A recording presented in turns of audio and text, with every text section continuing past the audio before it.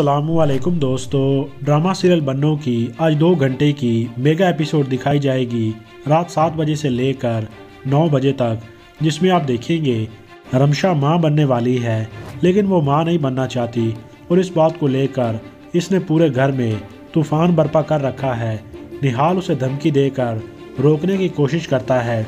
मिदत बेगम भी प्यार से, गुस्से से, हर तरह से उसे समझाने की कोशिश करती हैं। लेकिन रमशा की सुई एक ही बात पे अड़ी हुई है कि अभी उसे ये बच्चा नहीं चाहिए। ये बात अभी कलीम साहब और रिफत बेगम तक नहीं पहुँची। वो तो खुशियाँ मनाने की तैयारियाँ कर रहे हैं, लेकिन रमशा का और प्रोग्राम है। रमशा घर से जाने लगी तो मिद्दत उसे रोकती हैं और इनकी तमाम बातें रिफत बेगम सुन लेती हैं और वो कहती हैं, मुझे पहले ही अंदाज़ा था कि रमशा कुछ ऐसा वैसा करने वाली है। रमशा ने इन्हें अपना इरादा बताया तो वो तड़प के रह गई। क्या मतलब? उसकी बात का निहाल को की गुस्सा आ गया और वो कहता है, दिमाग ख़राब हो गया इसका।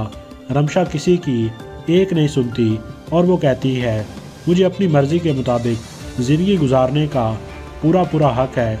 निहाल के जाने के बाद रिफत बेगम रमशा को धमकी देती हैं, अगर तुमने कुछ भी ऐसा वैसा किया तो मैं निहाल के सामने तुम्हारा सारा पोल खोल कर रख दूँगी तो रमशा गुस्से से पाँव पटक के अंदर चली जाती है। रिफत बेगम मिद्दत से कहती हैं, ये ना तो तुम्हारी बात सुनती है और ना ही मेरी। अगर इसकी जगह बीना होती तो मेरे एक ही इशारे पे उल्टे कदम वापस चली जाती। रमशा पे हर तरफ़ से दबाव बढ़ रहा है। निहाल की धमकी, रिफत बेगम का गुस्सा और ख़ुद इसकी वालदा मिदत बेगम का गुस्सा मक्कार रमशा अपना गुस्सा निकालने के लिए ओछी हरकत पे उतर आई। वो नाश्ते की मेज़ पे नाश्ते की मेज़ पर सब बैठे हैं। रमशा को बुलाया जाता है तो वो तमाशा लगा देती है।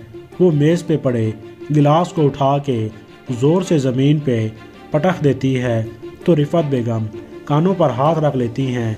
कलीम साहब भी उसकी सरकत और बदतमीज़ी पे हैरान रह गए। निहाल भी हैरान होकर उसे देखता है।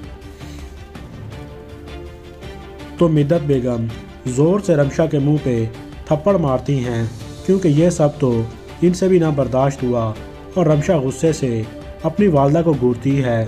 निहाल इस तमाशे पे सर पकड़े बैठा है।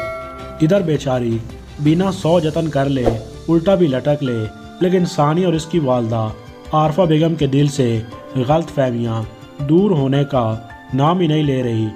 बिना साजदा खाला के सामने रोती है। जब भी कुछ अच्छा करने का सोचूं तो बुरा हो जाता है। पता नहीं मेरी किस्मत में इतनी आजमाइशें क्यों लिखी हैं तो साजिदा उसे समझाती हैं। नहीं बीना, ऐसा नहीं कहते। अल्लाह ताला अपने पसंदीदा बंदों को ही आजमाता है। आरफा बेगम, सानिया का दिमाग ख़राब करते हुए कहती हैं, मैं कभी नहीं भूलूँगी कि किस तरह से बीना ने अजलान पर डोरे डाल के तुम्हारा घर बर्बाद करने की कोशिश की। आ जाए ज़रा साजदा, मैं उससे कहती हूँ, अपना सामान बांधे और अपने घर में शिफ्ट हो जाए। इधर सानिया की सुई इसी बात पे अटकी हुई है कि अजलान उसे बीना की खातिर छोड़ देगा और वह अजलान से भी इस खदशे का इजहार करती है। पता नहीं मुझे क्यों लगता है, तुम मुझे बीना की खातिर छोड़ दोगे। बीना तुम्हें मुझसे छीन लेगी दोस्तों, वीडियो अच्छी लगे तो लाइक कर दें, चैनल को सब्सक्राइब कर लें। शुक्रिया।